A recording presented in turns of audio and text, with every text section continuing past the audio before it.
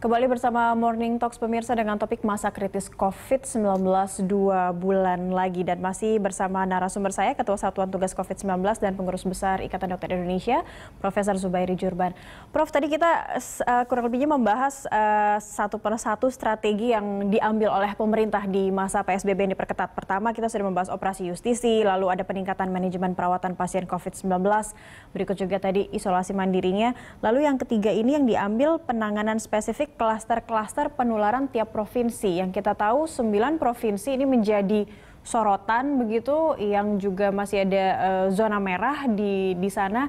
Apa yang uh, ingin dilakukan untuk penanganan spesifik uh, untuk klaster-klasternya ini seperti apa, Prof? Setiap daerah ini punya masalah atau muncul klaster yang berbeda-beda kah setiap daerah atau seperti apa?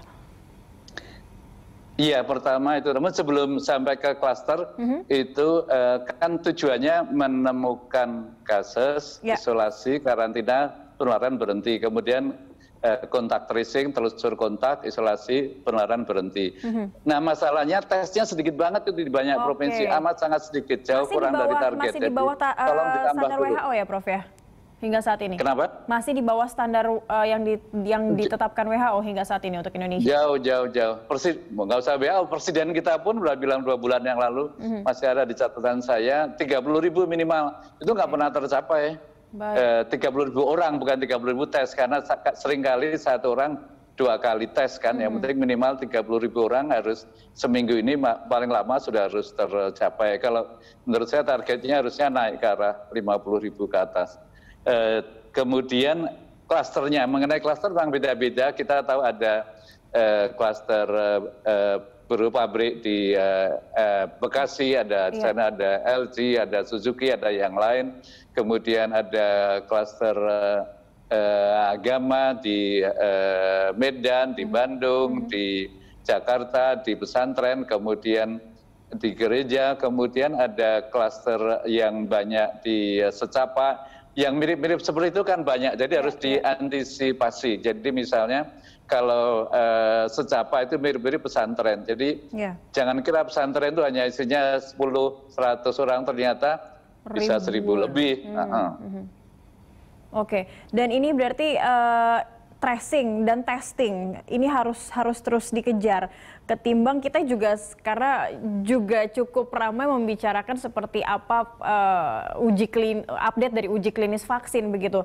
Kita harus lebih mengejar apa dulu saat ini sebelum kita masuk masa kritis sebenarnya Prof. Yang yang betul-betul harus dilakukan. Mungkin ini juga bisa menjadi rekomendasi di kepemimpinan komandan baru yang sekarang begitu Prof. Zubairi tetap nomor pertama adalah tes yang masif. Testing. Mohon sebanyak mungkin, uh, jauh di atas 30 ribu kalau bisa. Sekarang ini hanya kadang-kadang 15 ribu, kadang-kadang 20 ribu, masih jauh uh, di bawah walaupun banyak orang sudah teriak-teriak ini kenapa testingnya sedikit.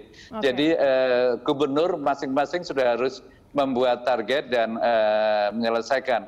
Saya kaget sekali pada waktu gubernur uh, Jawa Tengah menyampaikan bahwa masalahnya rakensia kurang lah itu kata Pak Erlangga duitnya banyak nanti tinggal beli Nah, itu itu menjadi pertanyaan awam masyarakat mungkin ya, uangnya, anggarannya ada, tapi apa yang membuat tes uh, testing ini nampaknya masih terus uh, di bawah standar WHO, jauh bahkan apa yang menjadi kendala? Permintaannya ke pusat kah terhadap uh, tes kitnya atau atau seperti apa sebenarnya realnya di ya. lapangan, Prof?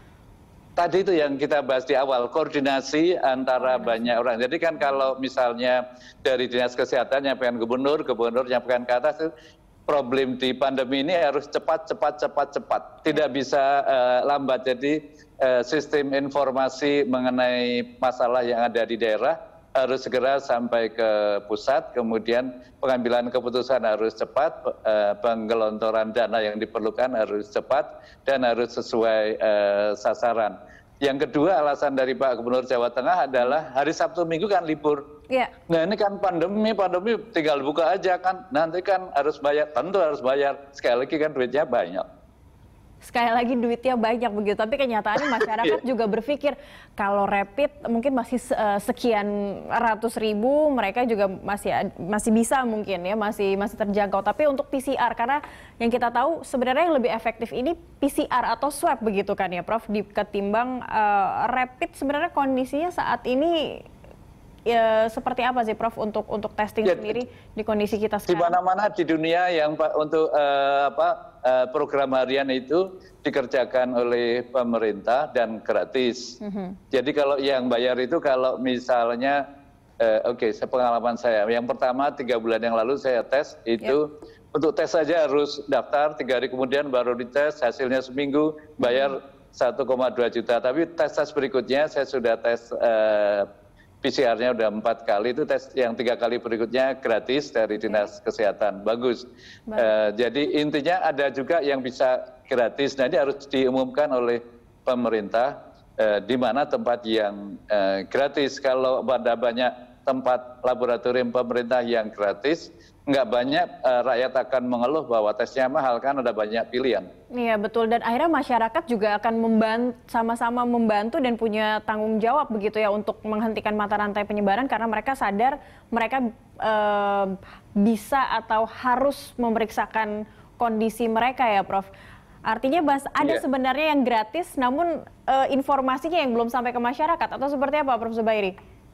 Iya jadi mohon yang gratis itu segera diumumkan hmm. ke masyarakat atau katakanlah kalau mau menyediakan yang murah misalnya pcr dua ratus ribu atau seratus ribu itu Ada ya, Prof? Eh, harus banyak diumumkan di media satu. Okay. Yang kedua, Baik. memang perlu penyeluan bolak-balik bolak-balik termasuk ini booking with media hmm. kerjasama dengan anda ini menjadi penting banget agar rakyat tahu bahwa kalau dites itu ternyata sebagian besar uh, eh, OTG tanpa gejala dan yeah. sebagian besar tidak perlu obat dan okay. karena itu tidak menularkan ke keluarganya, tidak menularkan ke anak, istri, uh, cucu, tetangga sehingga uh, masalah ini bisa selesai. Jadi tidak perlu takut, hmm. per, tidak perlu takut kalau tes ini juga amat sangat sering perlu disosialisasikan.